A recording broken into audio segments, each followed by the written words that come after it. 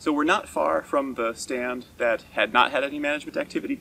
And this is an area where I sometimes bring students and I, I ask them to look around and say, does this look like there's been management activity recently? And often students say that there hasn't, uh, which is not right, and we'll talk about that in a minute. But first, if you look at this, think about what's, what's different. What do you see that looks different in this stand compared to the one that we were in a few minutes ago?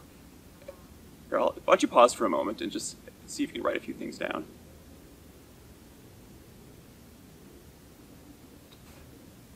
So hopefully you notice a few differences here. Uh, it's much more open here. That might not be so apparent from your view since you kind of lose some of the three dimensions when you're just watching on a regular video. Uh, but hopefully you also notice that it's brighter here. It's, it's quite a bit more open, so there's a lot more light. And you should have probably also noticed the vegetation. There's a lot more vegetation here. And this is actually a little bit of an open spot in front of us. But hiking up here from the road was, was much more challenging in this stand than the previous stand. Not because the vegetation was very tall, but just because it's very dense. There's kind of dense cover of vegetation across the forest floor. So it can be kind of hard to see pits and logs and other things on the ground. So you have to watch your step a little bit more. Um, I saw a lot of things like hemlock here, red huckleberry, salal. I saw a lot of trailing blackberry, uh, sword ferns. So, so pretty continuous vegetation cover. So now that we've talked about these differences a little bit, so we know the stand is more open and there's a lot more light coming through and we can see that and we also see evidence of that light coming through by having a really robust understory layer. So Cheryl, can you talk a little bit about the management of this stand and how it differs from the previous stand we were in? You bet.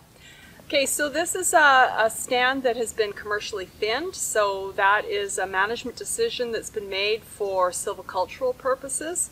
Uh, it's a way to give more growing space to the more valuable trees, and we did that by um, a prescription that we've um, developed that works quite well. We're removing between 40 and 45 percent of the basal area, and that was fairly recent. That was done here about eight years ago. Um, you know, because we're in a coastal rainforest, uh, you know, we're on a, a relatively moist and nutrient-rich site the understory vegetation responds quite quickly. So this is, you know, the development that you see um, over about the last eight years. You know, there's there's more diversity of understory vegetation, and it's it's just it's grown taller and thicker. And so temporarily, though, because you see in a thinning, um, you know, regeneration is not the objective. It's a stand tending intervention. It's designed to give more growing space to the trees that we've um, left behind. And they're, they're now more spaced out, and hopefully you can see that looking around. There's more space between the trees. But again, these trees are relatively young for this species. So hemlock, cedar, Douglas fir, you know, 70 to 80 years old. Uh, they have uh, you know lots of uh, time in the future on a longer rotation to expand their crowns, to grow taller and thicker, and to become you know more highly valuable, uh, higher um, log grade uh, you know tree sizes. And so that's what we're aiming for here. And when they're doing that over the years to come, what's going to happen is the crowns are going to close again overhead.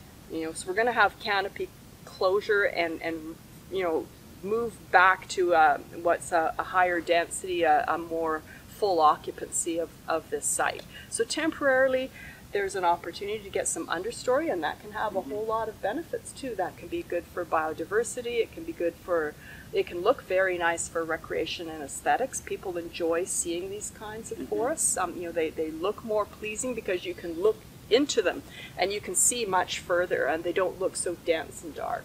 Um, and it can be great for a wildlife habitat if um, if you have um, you know browsing or, or grazing animals. So this is great for bears, um, ungulates, you know many other kinds of mammals and birds. And you say you said this is about ten years ago. About was, eight, eight, eight, years, ago, ago, here. Okay, and this yeah. is about a, an eighty-year-old stand. Yeah, yeah. So you get a very fast response mm-hmm. here because of the kind of climate and the, the you know kind of the rich soils in this location here. Yeah, and I think in this particular stand, I think from from the general public's perspective, people who may not be familiar with forestry practices would probably look at this forest and not realize they may not realize that there's been oh, management oh, activity they, here they, recently. They look at this and they think this looks very natural, and mm-hmm. that's that's that's a bonus. That, that's great from our point of view. Because recreational values here are really important. We're very close to an urban Mm-hmm. interface, and eh, people love to come into the forest for relaxation and enjoyment. Mhm. And even though it's a research forest, you allow uh, some access to the Mhm, forest we for, encourage it, yeah, for yeah, mainly for hiking here. Uh-huh. So thinking to the future of this stand, so obviously, um, if I look up right now, I see there's there's a fair amount of light coming in between the crowns. So over time, those crowns will expand and and start to fill up, uh, fill in the gaps in that canopy. Do you expect that you might come in here for a thinning again in the future, or what what might the next 25 or 50 or 75 years of this stand look That like is- management wise? Yeah, that is an option for future managers on a very long rotation. You could come in and thin it again. So we are not at the, you know, what I would say the minimum um, sort of spacing for, for you know, a, a very um, long-term uh, older stand.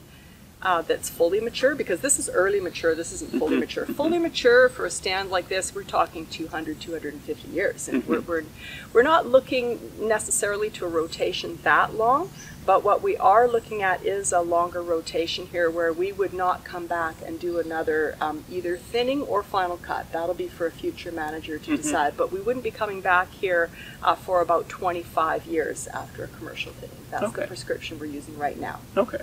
And uh, if you project the sizes of these trees over time, um, ideally uh, we would leave these for about a 150 year rotation. Okay. You get very high grade logs that would be suitable for milling large timbers to support our sawmill operation. Mhm. Yeah, and I think one thing that's kind of important to point out with thinnings is that you're not necessarily generating more biomass or, or more growth. It's that you're taking that, that productivity in that sand and concentrating it into fewer trees. So, um, and this may not be exactly true everywhere, but I know if you have a stand that's unthinned and a stand that's thinned, often they'll, they'll put on similar amounts of biomass over time, but in that stand that you that you don't thin, you have that biomass split up among more trees, and so they tend to be a little bit smaller. So from a from an ecological perspective, there's not necessarily a huge argument for thinning, although as you did say, it, it provides perhaps forage for ungulates or or other bears. But from a, a timber management uh, perspective, by creating one larger tree, that's going to be more valuable than two or three smaller trees that total to the same volume. Yeah, that's right. That's right. And left alone, it will thin itself, but Mhm. it'll just be happen happen over a much longer Mhm. time span. And so we can we can sort of speed up the process by thinning. Okay. Good. And is there, um, I, this is probably a little bit off topic, but as far as the, the timber markets uh, around here right now, is there a certain kind of range of, of sizes of logs that are uh, especially valuable or especially in demand at the moment? Well, you really can't go lo- uh, wrong with your your larger uh, Mhm. western red cedar because there doesn't seem to be a whole lot of substitution for cedar. Cedar's been in high demand historically, and it, it tends to be you know typically about uh, you know at least double the value of of the other like the next closest species, which would be the Douglas fir. Mhm. So you know for cedar poles, cedar house logs, or for cedar mill timbers. So to, to get a, a gang log is great. Um, Can you, know, explain what a gang log is? Oh, well, it's uh, it's just um, a, a smaller size saw log, but to get into what they call the merge grade, which is a larger size saw log, um, which has the, the sufficient quality to give you a, a good um, you know a timber from an aesthetics and also from um, a structural standpoint. Um, that would be ideal because those are very very high value logs and they're they're in demand and you know no one knows what the future is going to bring but we see that as being something that will continue to hold value very long into the future Okay.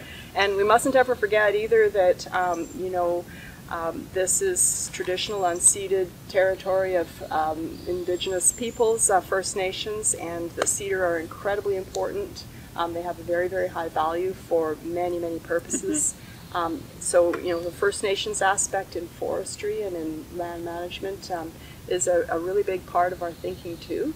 And, uh, you know, the, the really large cedar that would be needed for those cultural purposes are, you know, they're, they're harder to find um, Mhm. in many local areas now, but, but they can be regrown for the future. Mhm.